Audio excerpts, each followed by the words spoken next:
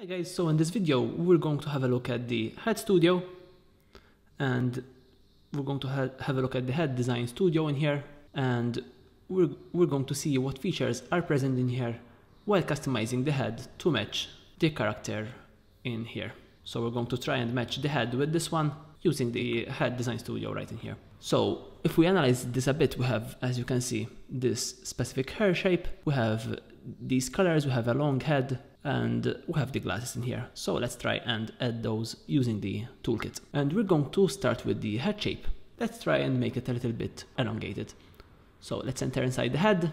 I'm going to start with the overall roundness. I want it very round, so I'm going to make that 100. Then I'm going to jump to the forehead. The width, I like how it is, but you have the option to increase that or decrease that if you like. I'm going to leave that to 20, maybe put the roundness to 100 so that it's completely round, but I'm going to leave the height, etc. as they are in here. So I'm going to jump to the shin now. As for the width, once again, I like it as it is, matching with the top part. I'm simply going to make the height 200 so that it will be a little bit more elongated, as you can see in here. The roundness I'm going to set to 100 as well, and there we have it, very round cheeks. And you have the option to use the V-hat shape in here, where it would basically convert your head to this V shin in here. Very, very nice option.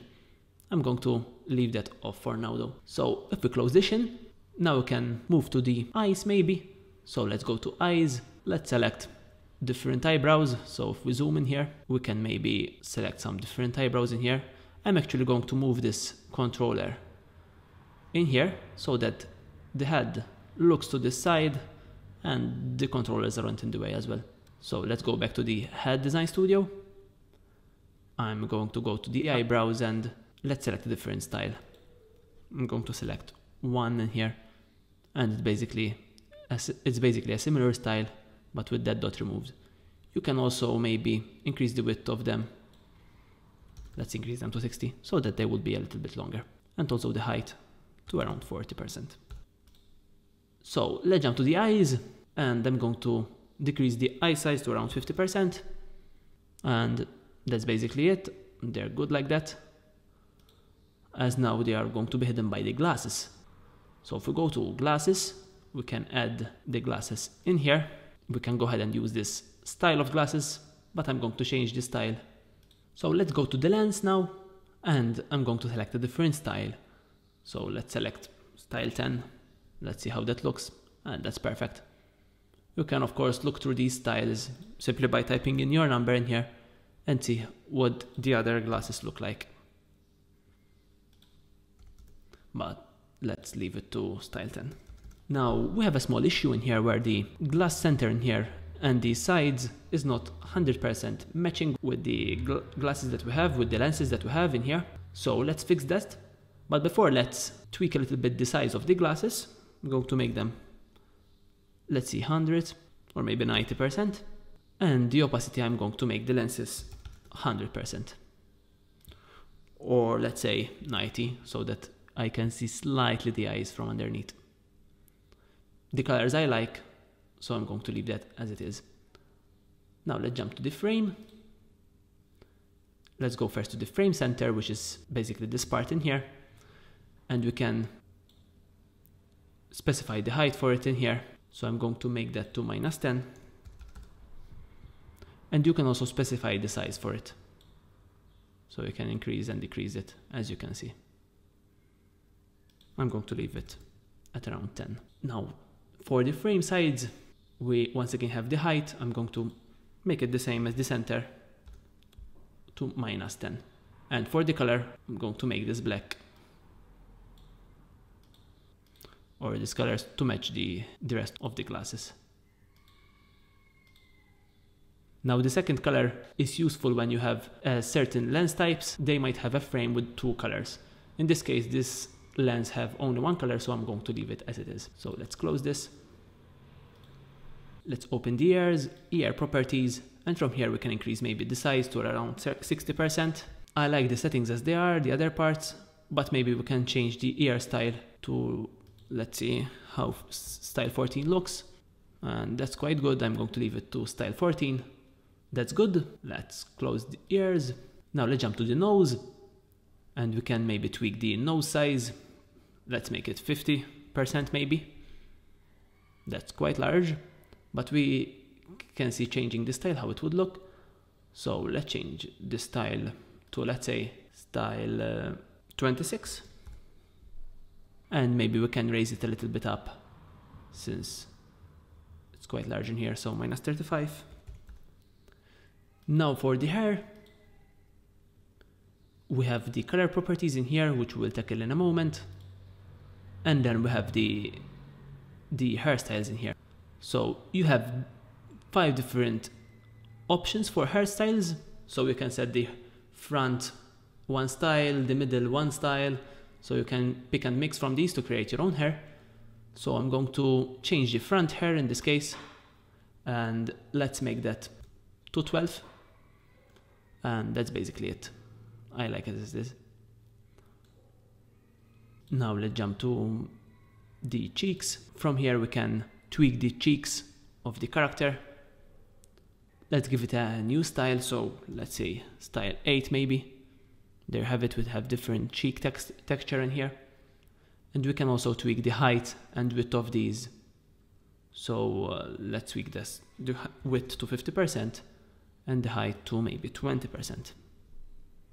As you can see, this changes accordingly. You have other options in here like roundness, stroke size, opacity, and you can play with those to see what they do. The mouth looks good, so I'm going to leave it as it is as well.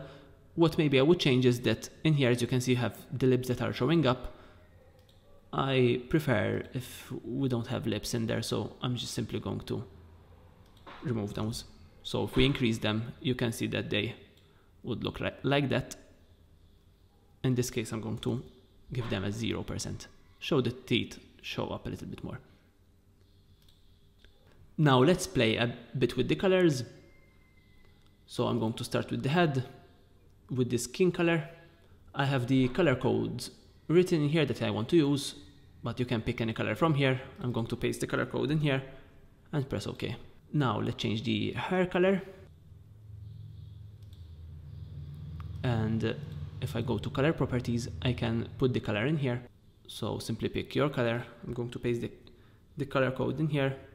Press OK. Close that up.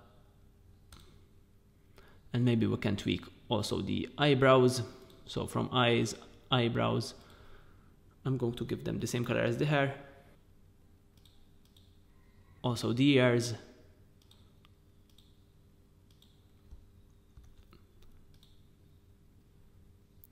and this for her texture in here we can change as well let's pick the nose color maybe and emphasize that a little bit more and click OK that's good now for the nose I'm going to give it this color pick OK and finally for the cheeks I'm going to give it this color as well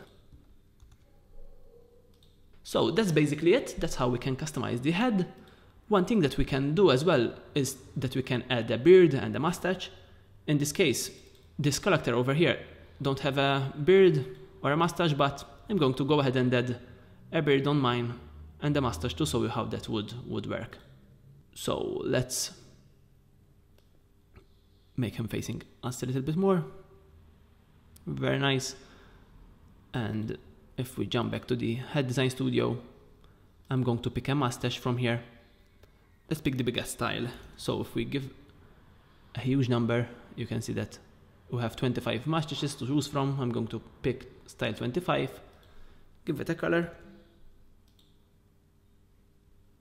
There we go. And of course you can increase the size. So let's make it to around 50%. And we can also find a beard that we like from here. So we can select a beard style. Let's see. Five. That's quite nice. Give it the color. We can, of course, tweak the size of the of the beard from here and tweak the position. There's also a switch in here to switch to a full beard. Now this switch would work with some styles but would look off with other styles. So in this case, with this style, if we toggle it on, you can see that it doesn't make sense since this beard is mostly used to wrap with the chin. So I'm going to keep that two off, but there are certain styles, so if we use a different beard in here, for instance this beard, if we switch to full beard, as you can see this might make sense in here if we decrease it in size for instance. So this is why this button is in here. Let's go back to this beard size right in here. And that's basically it. So if we have a look at the whole character now, we can see how the whole character is looking very very nice in here. So we'll see you in the next video where we see how we can tweak the clothes more and how we can add jackets for instance, belts, etc.